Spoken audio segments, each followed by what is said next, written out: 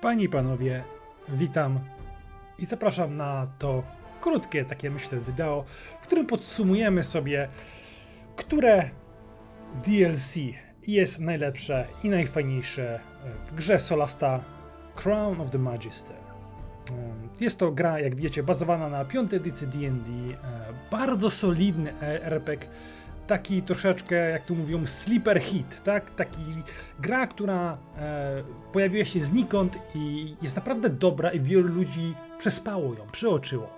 Więc teraz, jeżeli ty zagrałaś, zagrałeś, podobała ci się gra i myślisz, że może, nie wiem, jest teraz jakaś wyprzedaż, czy cokolwiek, czy dostałeś jakiś voucher, e, czy, czy jakiś tam, e, jak to się mówi, e, na Steam, tak, e, możliwość zakupu e, i myślisz sobie, które DLC kupić, Zaraz ci doradzę, zaraz ci powiem, ponieważ ja kupiłem wszystkie, które były DLC, ponieważ kocham tą grę, jest wspaniała.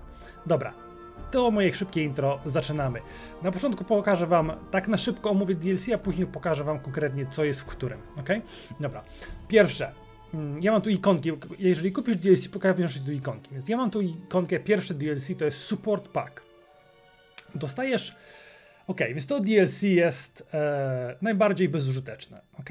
Dostajesz e, koncept arty, dostajesz chyba inny kolor kostek w grze, jak rzucasz. E, generalnie jest bezużyteczne. Aczkolwiek ja je kupiłem, ponieważ e, to jest supporter pack. To jest DLC, które wspiera studio. Dosłownie. Jeden z twórców na live streamie powiedział, żeby go nie kupować tego DLC, ponieważ to jest jak, tak jak napiwek. Jakbyś dawała, dawała czy dawał napiwek twórcom. E, jest mało użyteczne, ale jeżeli chcesz pokazać swoją miłość temu studiu, to jak najbardziej kup to DLC. E, jest tu mało kontentu e, i po prostu płacisz tym ludziom po raz kolejny za wyrażasz swoje dzięki, tak? Dziękujesz im za dobrą grę. Jak powiedziałem, ja się świetnie bawię przy tej grze, uwielbiam ją i, i ja kupiłem od razu bez gadania, namawiania ale jeżeli tak masz tylko budżet na jedno DLC, to możesz to spokojnie skipować. Nic tu nie ma dla ciebie, co by wpłynęło na rozgrywkę. Okay? Drugie to jest update darmowy. E, I z tego co wiem, każdy może to pobrać. Wystarczy, że masz, kupiłeś, masz Solasta z legalnego źródła. A zakładam, że masz, ponieważ to studio ma chyba 15 czy 20 osób, jest naprawdę małe. I pomimo tego, że ta gra odniosła sukces, e, nie pamiętam jak się nazywał ten główny szef wodzu e, tego studia, on celowo nie rozwija i nie rozrasta tego studia, żeby przybyło mu więcej pracowników, żeby być coraz większym studiem, ponieważ pracował w dużych studiach i powiedział, że tego nie lubi, ponieważ traci kontakt z, z ludźmi. Nie wie, nie wie, co robi, tak? wie, co robią ci ludzie. Jeżeli, jeżeli w jakimś studiu pracuje, nie wiem, 100, 300 osób, to musisz nająć menadżerów, musisz nająć jakichś tam team liderów, żeby oni kontrolowali, co robi drużyna. Drużyna robi grafikę, ci robią poziomy, tam ci testują, tam ci naprawiają bugi i tak dalej. Więc on celowo tego nie robi, żeby mieć małą drużynę, e, z każdym się osobiście i, i tak dalej. Więc w tym dodatku dochodzi Sorcerer, czyli to jest po polsku zaklinacz, e, nowa klasa oraz e, trzy podklasy dostaje ta klasa. Czyli dostajemy jedną, jedną klasę dodatkową. Jak mamy wojownika czy tam e, łotra, dostajemy sorcerera. Ok? To jest darmowe. To powinnaś, powinieneś móc pobrać bez problemu. E, Inner Strength, wewnętrzna siła. To jest nowe, najnowsze DLC, które wyszło dosłownie w momencie nagrywania kilka dni temu. Nie wiem kiedy to oglądasz. E, mamy końcówkę u mnie na zegarku, mam końcówkę 2022. Okay? Mm, więc Inner Strength, wewnętrzna siła, mamy mnicha, barda i warlocka, czyli warlock to jest czarnoksiężnik, zdaje się po polsku. E, I mamy nową rasę Dragonborn, czyli tacy smokorodni, zrodzeni ze smoków, potomkowie smoków, taki człowiek-smok. Okay? E, I czy to jest dobre DLC? Tak, to jest uważam dobry dodatek. E, w mojej ocenie 7 na 10, dobre 3 klasy. E, nawet 8 na 10 bym powiedział, bo tu jest kolej, po raz kolejny moja ulubiona klasa Warlock, więc e, wspaniałe, uwielbiam. Bardzo dobra, dobry dodatek. I mamy też trzy e, nowe pochodzenia, o ile się nie mylę, więc to jest dobry, bardzo dobry DLC, bardzo dobre, 8 na 10. Tutaj Primal Calling, czyli takie pierwotne wezwanie, barbarzyńca i druid oraz półork dostajesz e, jedną rasę i pochodzenie nowe. E, więc teraz tutaj myślę, że e, dostajemy tylko dwa, tu dostajemy trzy, więc tutaj myślę takie 7 na 10 bym dał temu DLC. I tutaj e, dostajemy Lost Valley, czyli Zaginiona e, Dolina i to jest DLC z przygodą. Ja zrobiłem recenzję tego DLC, więc nie będę tutaj się rozgadywał. Nie jest jakieś super dobre, ale są nowe poziomy, więc jeżeli lubisz Solastę, to jest na pewno coś, czego będziesz się dobrze bawił. Dobra, lecimy dalej. E, teraz mm, stworzymy nowego bohatera. Pokażę wam, jak gdyby, o co biega.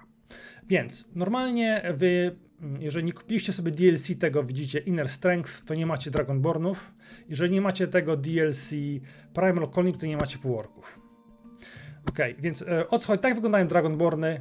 Tak, widzicie, koleś wygląda jak smok, chodzi na dwóch łapach i wybierasz sobie typ pochodu. Tutaj dwa do siły, jeden do charyzmy i może ziać ogniem, ma odporność na o, o, ogień, znaczy ogień, w zależności od koloru, tak? Czarny smok ma odporność, czarny Dragonborn odporność na kwas, e, niebieski na e, lightning, czyli elektryczność, złoty na ogień, zielony na truciznę i srebrny na zimno, tak? Czyli te żywioły mamy niemal odpowiedniki kolorów. Więc wybieramy sobie takiego Dragonborna, e, później możemy zmienić kolor skóry, do, e, długość o, i, i jak gdyby teksturę ogona, czy ma być taki gładki, czy ma być jakiś chropowaty i tak dalej lekka kustomizacja jest. Um, także możemy sobie wybrać swojego Dragonborna e, w zależności od tego, e, tak jak mówię. E, rasa jest ok. E, półorki bardzo fajną rasą są.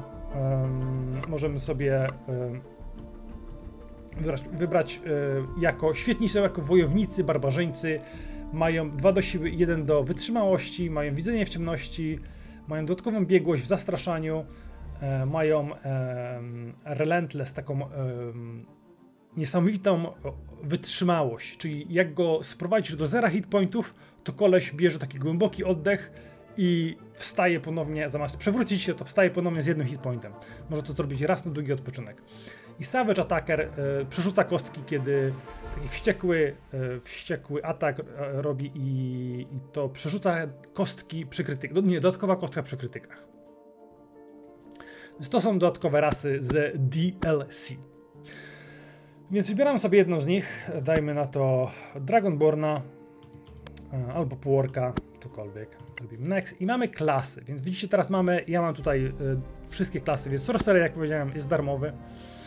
E, pochodzenia Sorcera to jest dragoniczne, to zna się na pewno y, z postawki. E, tutaj jest lekko zmieniona, dostajemy dodatkowe zaklęcia, jest jeszcze tutaj, ale reszta jest taka sama chyba, o ile się nie mylę. E, aczkolwiek moim zdaniem Dragonic Bloodline jest najlepszy z tego wszystkiego. E, na wyższych poziomach masz zdolności też opisane. Więc Sorcerer jest jak najbardziej. Warlock, co mamy z Warlocka? Mamy patronów, mamy czterech patronów.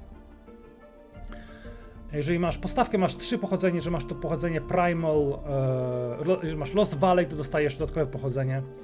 Masz oczywiście podstawowe pochodzenie Fint, Patrona, możesz mieć Diabła, czyli dokładnie to jest to w podręczniku. E, za zabójstwo dostajesz dodatkowe temporary hitpointy, tymczasowe hitpointy dostajesz. Możesz zwiększyć sobie e, szanse na przez minutę masz D10 do testów i możesz mieć też Fendish Resistance, odporność E, możesz sobie wybrać przy odpoczynku typ odporności, jesteś od, od, niewrażliwy, nie, nie odporny na te wrażenia. Że te dwa są bardzo mocne, bardzo mocne są te dwa. Timekeeper, e, tu mamy klątwę czasu, jeżeli kogoś trafisz zaklęciem, to co turę dostaje obrażenia, połowę twojej biegłości. I to się dodaje, to jest niezłe. Mm, time shift. Czasami też mamy tak, że trafimy kogoś zaklęciem i zostaje mu dwa hitpointy, więc ta klątwa czasu po prostu starzeje go i wysysa z niego hitpointy, więc to jest dobre. Time Shift, możesz uniknąć obrażeń reakcją, e, po prostu przenieść swoje ciało o sekundę później w czasie e, i uniknąć, tam wcześniej, i uniknąć obrażeń. I akceleracja, możesz rzucić haste'a, bonus action. Także to jest, e, to jest niezłe. I następna klasa to jest druid, mamy druidyczne kręgi, to jest z DLC, to z łapką, czyli to jest Primal Calling. Bardzo mi się podoba krąg Circle of Balance i w sumie te dwa są, te dwa są moim zdaniem najmocniejsze. E, bo tutaj stajesz takim healerem, le lekarzem i możesz leczyć, e, rzucać też zaklęcia. Widzicie jakieś Revivify możesz zrobić, Blight możesz rzucić. E, to są dobre zaklęcia. Mm, I to jest takie połączenie druida i kapłana życia troszeczkę, bo ma też dar życia, kiedy leczysz kogoś. Yy, to dostają dodatkowe hitpointy równe twojemu poziomowi w następnej turze. Czyli takie to jest, to jest fajne.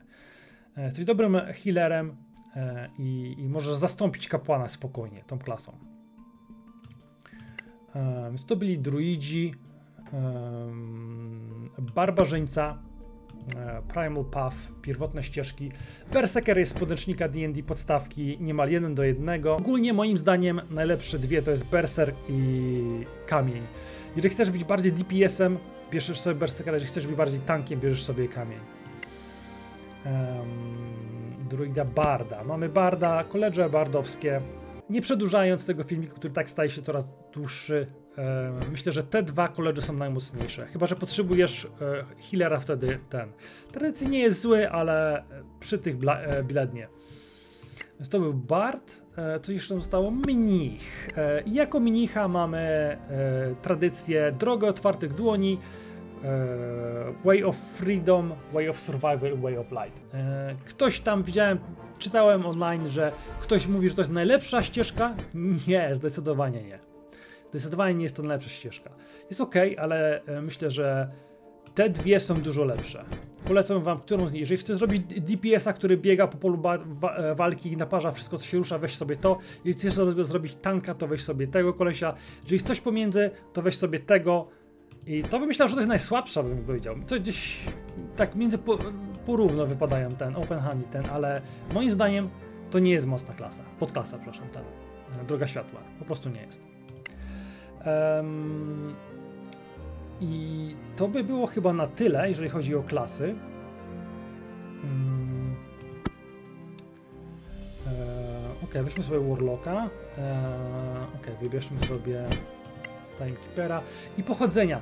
E, ostatnia rzecz nowa w DLC. E, teraz, jeżeli wybieramy, jeżeli kupiłeś sobie DLC Primal Calling, dostajesz Wanderera, czyli takiego wędrowca, takiego pochodzenie masz takie jak E, Legolas czy Aragorn z Władcy Pierścienia, że włóczysz się po ruinach i przez to lepiej e, nauczysz się zdobywać e, pożywienie, polować i tak dalej, tropić. Zostajesz biegłość w survivalu i w naturze i biegłość w narzędziach kowalskich oraz zbieraniu ziół. Dostajesz ekwipunek taki, a nie inny. Także to jest dobre. Jeżeli kupiłeś sobie DLC Inner Strength, czy wewnętrzna siła, to z Warlockiem Dostajesz okultystę. E, tutaj są rzeczy, które dostajesz. Dodatkowy język, arkana i deception oraz e, pisanie scrolli. E, możesz zostać artystą. E, perswazja, deception, performance.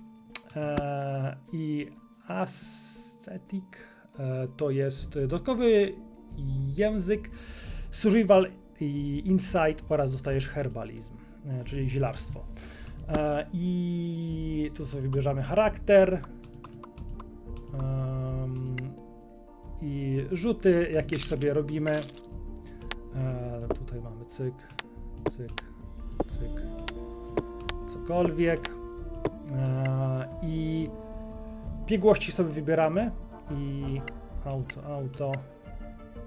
I zaklęcia na końcu, bo już gramy Warlockiem. FG jest Eldritch Blast E, jest Shadow Armor, to jest dobry buff, na przykład dla Warlocka. E, Shadow Dagger jest średnim zaklęciem. Sparkle, e, True Strike. Ja bym dla Warlocka wziął właśnie Eldritch Blast na 100% i jedno z tych dowolnie już wybierzcie sobie. I na przykład tutaj bardzo dobrym zaklęciem jest Malediction. Malediction to jest Hex. Nie mają praw autorskich do użycia oryginalnego Hex, ale robi to samo co zaklęcie Hex. Czyli bierzesz sobie to i Eldritch Blast i robisz mega DPS na początkowych poziomach. Mega duży DPS. Jako drugie zaklęcie wziąłbym albo Hellish Rebuke, albo Long Stridera, albo co innego tam jeszcze macie. I to wszystko. także e, to by było to. Dodatkowo w kolejnym DLC dostajesz, e, dostajesz sobie, aha, dostajesz, e, są nowe e, są nowe, e, jak to się nazywają, są nowe fity, bonus fits, dostałem chyba 19 nowych fitów jest. E, I niektóre z nich są bardzo fajne. Mój rok, kiedy pierwszy raz szedłem, miał e, to i to, te dwa fity i po prostu był takim snajperem, że przez pół mapy zdejmował ludzi.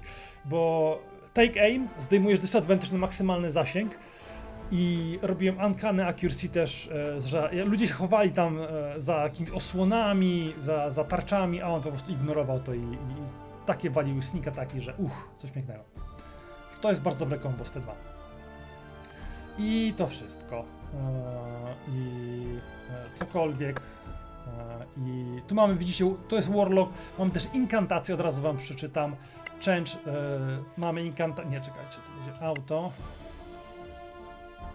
Mamy inkantację, mamy Agonizing Blast, to jest must have dla Warlocka. Armor of Shadows, rzucasz e, Mage Armor na Tutaj dostajesz e, skok, jump, e, at will, czyli możesz rzucać do bólu. Dobre do wertykalnych eksploracji. Repelling Blast to jest bardzo dobra inkantacja. Odpychasz o dwie, o dwie komórki. Możesz zrzucać wrogów.